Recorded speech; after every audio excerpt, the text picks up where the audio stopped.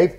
Uh, very excited about what uh, is happening now. I want you to understand something. God is going to show up, show off in such a marvelous way during these days. The Bible said we're going to be awestruck. That means we're going to be so stunned we can't hardly believe what we're seeing. And I love that because today I want to talk to us uh, about, I think, a very serious uh, situation in the body of Christ. We've got to learn to ascend to the next new level. We've got to find out this pathway that breaks out uh, from spiritual stagnation and helps us to overcome spiritual stagnation and move into the next dimension with God. Psalms 84 11 says, uh, he says, "He no good thing will the Lord withhold from those that are walking upright.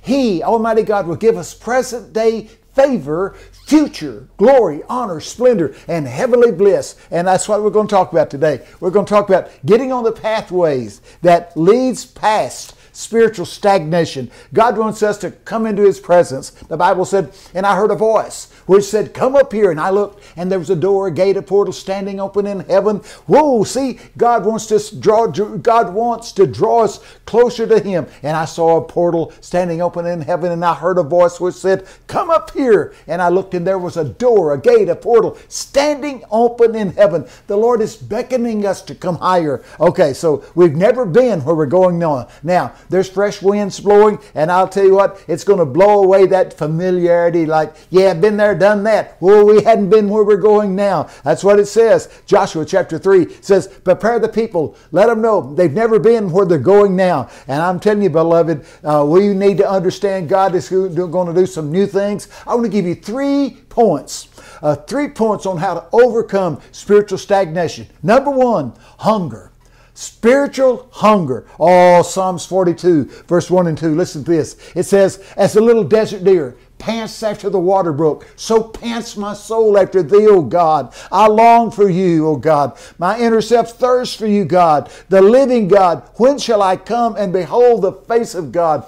That's, that's that cry of your heart. Oh God, I want to know more about you. I want to be more intimate with you. Psalms 42, uh, 1, uh, verses 1 and 2. Here's Psalm 63, verse 1 and 2. Listen to what it says. Oh Lord, you are my God.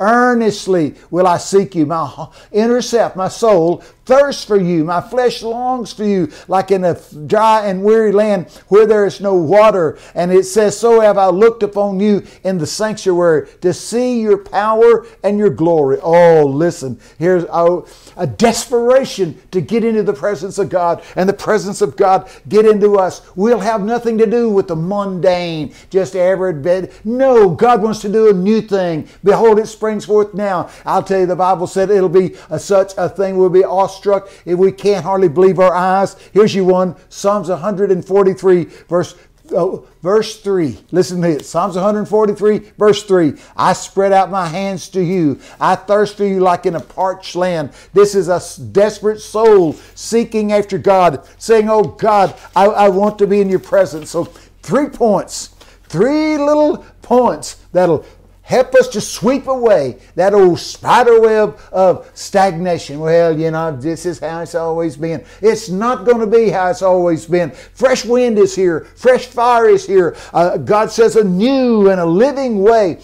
Okay, first thing you've got to have is hunger. Spiritual hunger. That's what we just got through talking about. As the little desert deer pants after the water brook, so pants my soul after thee, O God. Psalms 42, 1 and 2. I thirst for you like in a dry and weary land. And now, now we're going to move from hunger to what? Holiness. These two go together. These go, these two go together. the, the Bible talks about being holy. Listen to these verses. Psalms 24, 3 and 4. A great question is brought before us. Here it is Who shall go up into the mountain of the Lord, or who shall ascend into his holy place? He who has clean hands and a pure heart, who has not lifted up himself in falsehood or to what is not true, but he's not sworn deceitfully. He shall receive the blessings from the Lord and the righteousness from the God of his salvation. That's Psalms 24, 3 and 4. I love the Bible. It does not ask questions without inserting answers. The question was, who's going to draw up into the presence of the Lord? Who's going to get in his holy place?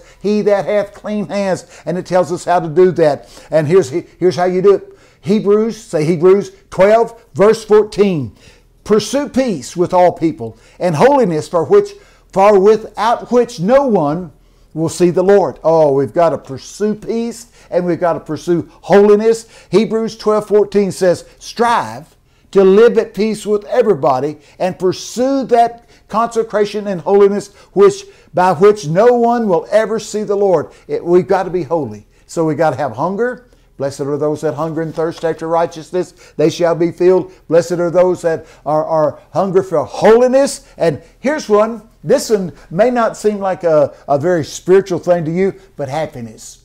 A merry heart does good like a medicine. In his presence is fullness of joy. So we got hunger, we've got holiness, and we got happiness. Now, you can't put happiness up before any of these because what brings about happiness is holiness and, and hunger. It really does. Oh, listen to this Psalm 6, 16, verse 11. Happiness uh, is uh, really, really important. And it says a good, a good attitude really will help us. It says, You will show me the pathway of life. In your presence is fullness of joy. At your right hand, there's pleasures forevermore. Let's get into the presence of God. Let's let the presence of God get into us and let's learn what it means to have a happy heart. A merry heart does good like a medicine. The Bible says the, the, the peace of God will keep our heart. And Romans 16 20 said, The God of peace will crush Satan under our feet. Oh, the Spirit of God is asking, How many of you are ready to uh, go to the next new level? The doorway is open. The new things are right at hand.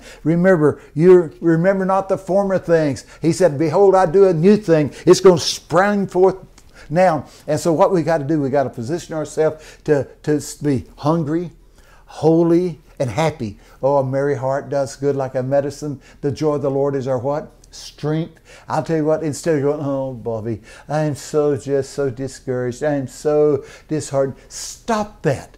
Every good and perfect gift comes down from the Father of lights, in whom there's no variableness nor shadow of turning. And uh, every good gift we have comes from Holy God. And God is bestowing upon us blessings that we don't have room enough to receive them. So I encourage us, let's don't let the devil uh, get us downcast and uh, hopeless. Hebrews 10 35 says, Do not, do not fling away your steadfast confidence in God, because your steadfast confidence in God brings with it a great recompense of reward. We would say in our language, hold on to hope. Hope pays big dividends. Oh God, God wants us to be filled with hope. But the devil wants us to be hopeless. And the Bible says, let us not grow weary in well doing. We will reap if we faint not. Keep our focus on the Lord. And Isaiah 26 3, thou will keep him in what? Perfect peace. Perfect. You can't get better than perfect. Perfect peace whose mind is stayed upon the Lord. So the devil's going to try to disturb you, distract you, get your mind off of God. No, seek the Lord while he may be found. Call upon him while he's near. Let, let, let the unrighteous man forsake his way. I'm telling you, get in the presence of God. Let the presence of God get into you. Begin to worship him and love him and laud him with praise and honor. And you'll be surprised how bold the Lord will give you. They were, uh, we need to understand the righteous shall be as bold as a lion. I like that. You know, uh, I, I, know that some people uh, are, are uh, not as aggressive as others, but I don't like it when the church is backing off. Oh, I'm afraid, you know, I'm afraid if I really push the gospel that I'll lose some friends. Listen, listen, don't be full of fear. God did not give us a spirit of fear, the spirit of fear, but love, power, and a well disciplined mind. I want us to be bold and brave and very courageous. Colossians, uh, Joshua 1 9. Be bold, be brave, be very courageous. Go do what God has commissioned you to do because you're not going by yourself. Who's going with you? Jeremiah 20 11. The Lord is with me as a mighty warrior, a, dread champion. Therefore, those that are persecuting me and trying to harass me will not prevail. So, this is Bobby Conner, Eagles View Ministry. Thank you for watching Bobby's briefings. I want you to come to some of the schools we're going to be doing. I'm going to be in Lancaster, California in just a few weeks. Look look on our webpage there. You'll see it there at uh, Joe Sweet's Church, uh, Shekinah Worship Center, Lancaster, California. Oh, we're going to have a time.